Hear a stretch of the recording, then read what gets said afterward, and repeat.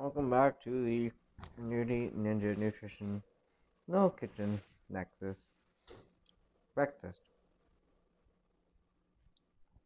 We have eggs, we have salt, we have broccoli and kale, and more salt.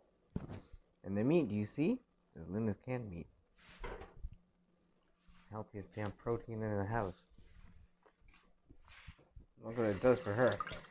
Why aren't we eating it? Why will we eat the canned spam in the dollar store before we'll eat this stuff? I'm a nutritionist. I'm gonna find out. Oh yeah, and it's psychedelic. And if you like a recipe, you take your blue honey, your lemon ticket, and you turn it into, well, sweet honey, sweet blue honey from Blue Jay, son.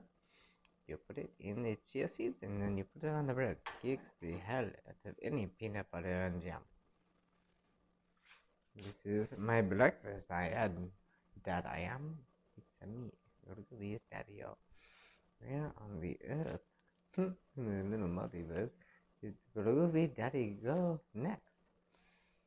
Stay tuned for the next Nexus of Nature's nutritional element of growth and nerdy ninjas. You love it. Yes, Mrs. Lion, I'm